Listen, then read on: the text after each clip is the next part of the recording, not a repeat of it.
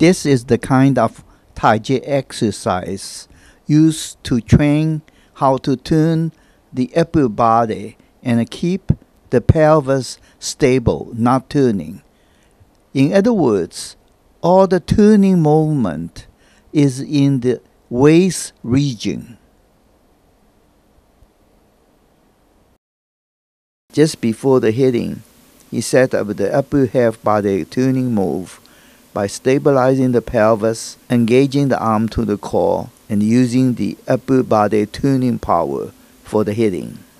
He maintains the stability of the pelvis but disengages the arm from the core for the follow through.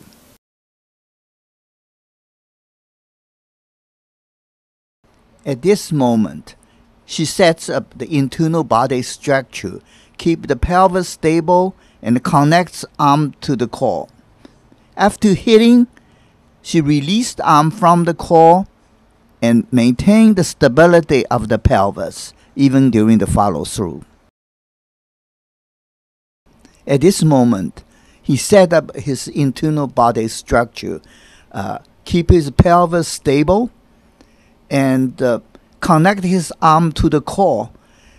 It would uh, lock his arm to the body using the core power for the swing, and keep the pelvis stable continuously, even during the follow through movement.